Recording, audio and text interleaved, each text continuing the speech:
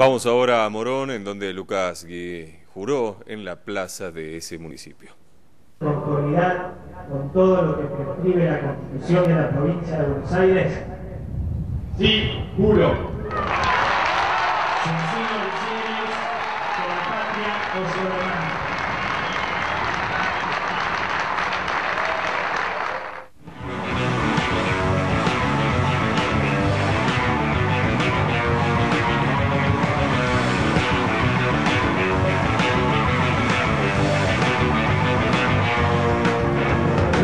calle más larga, el río más ancho, la mina más linda del mundo.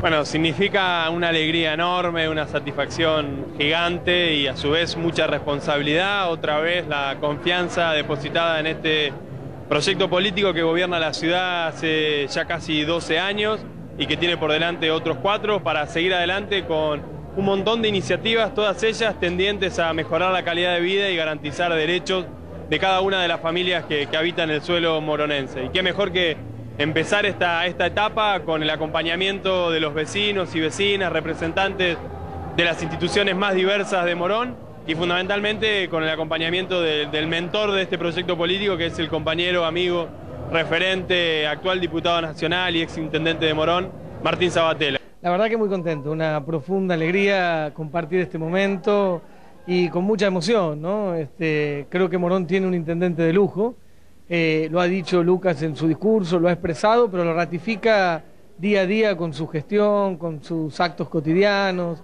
Así que bueno, muy emocionado, muy contento de estar acá en esta fiesta de la democracia de Morón, en este proyecto que viene desarrollándose hace muchos años y hoy tiene en Lucas, la verdad que una, una expresión muy profunda. Así que, insisto, muy contento, muy emocionado, eh, un gusto escucharlo a él y ver también el calor de los vecinos y vecinas de Morón en el abrazo que le dan a este proyecto y a Lucas Gui.